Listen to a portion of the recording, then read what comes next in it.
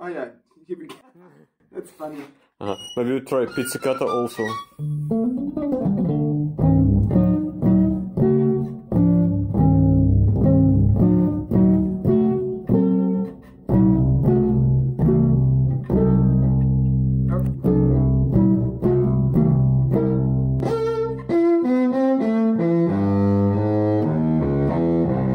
It's a very good sound.